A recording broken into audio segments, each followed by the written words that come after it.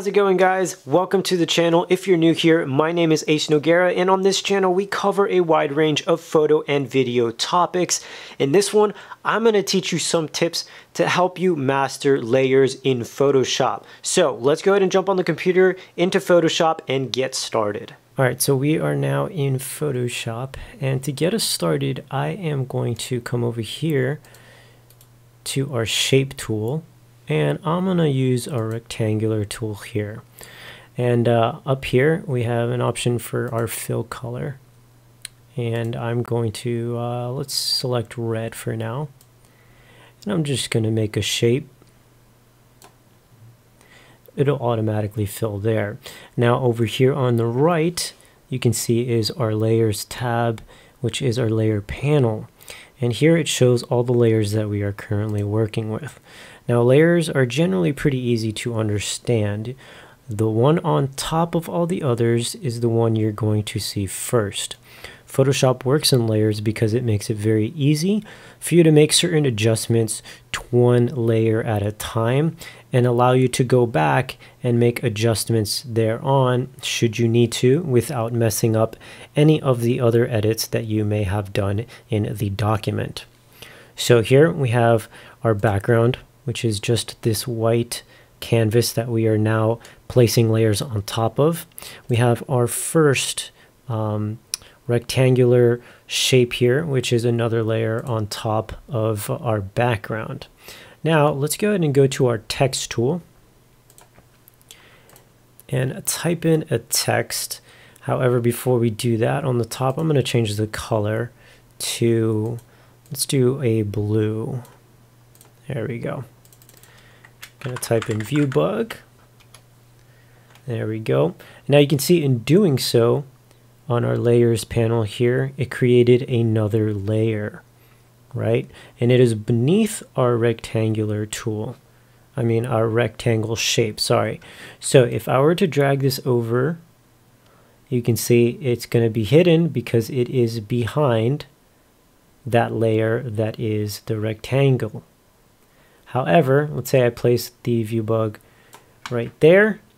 I can go ahead and click, highlight that particular layer, click and hold, and actually drag it down below that layer. And once again, the layer on the top is going to be the one that is most visible, which is why now we can see the view bug text. But let's go ahead and switch it back around and you can see now it is being hidden because it is technically behind the rectangle. Let's go ahead and actually flip that back around. Oh, there we go. Now another thing that we can do is add different blending modes to each in particular layer. Let's go ahead and add a um, blending mode here to our rectangle. Now in the layers panel, you can see here there are a couple of other options that we can uh, change according to that particular layer.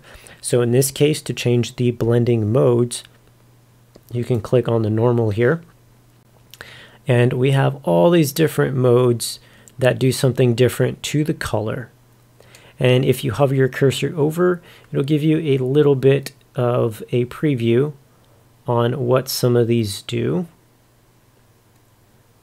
Some will change, some won't. It really depends on the colors that you use, not to mention um, how many other layers are behind it or under it. So let's go ahead and change ViewBug under here, and we may be able to see a few more different changes for our blending mode. So you can see on the hard mix here, it actually gets rid of the red color but changes the VIE of the blue color in the text. So these are, are interesting to play around with because they really do change things up quite a bit um, depending on the colors and the layers that you have in particular that you're using for that particular edit that you're trying to make. Something that I generally use, um, especially with retouching um, and using certain colors, it just helps kind of blend things together a lot better. For this example, I'm going to actually leave it on normal. That's looking good there. And here is another really cool trick that you can use to really learn a little bit more about layers. If you have a layer highlighted, as you can see here, a rectangle layer is highlighted, I can go ahead and click, double click right here on this empty area. And we are brought up with a layer style menu. I'm gonna bring it over here. And it gives us a ton more options of little things and adjustments that we can do within that layer so for example, one of the ones that I love to use is a drop shadow. You see it adds a little shadow behind our um, shape here. And you can check or uncheck to enable or disable the effect. Now, if you wanted to fine tweak it, you can go ahead and click on that particular option, just like so and make some fine tweaks. This allows you to do quite a lot. As you can see, we can even change the angle at which the shadow is being made on our shape. This comes in handy when you are maybe working with something where you have a light source that is about here. Allows you to really mimic how realistic that shadow would pop up on the shape or object or just layer in general. Another one that I use a lot is going to be our stroke. This basically allows a stroke of color around the layer itself, which in this case is the rectangle. So we have it as the color black, as you can see here. And we could actually change that, let's say to a blue. Hit OK, and now you can see it is a blue color. Now we can also change the size make it much bigger if you want. Now notice how the uh, red part of our shape is getting smaller. That is because our position here is set to inside. So what is happening is the blue, which is our stroke, is actually getting bigger from the outside in, which is making our red square a little bit smaller. The opposite would happen if we go outside. See, now the blue is going from the inside to the outside and getting bigger on the outside. So let's go ahead and change it to center. And once again, it's kind of the same thing. It's going from the center outward. See that? So that's something that I use a lot, especially on text, just to make it more easily, uh, or make it a little bit easier to read. So for example, let's go ahead and um, move our view bug on top here, like so.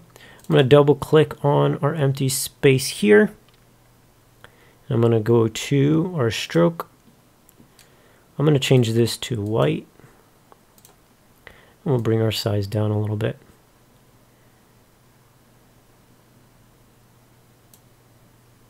There you go. And you see, by doing so, we've been able to make it a little bit easier for the VIE part of ViewBug to show up a little bit better on our canvas here. Now we can actually add another element as well.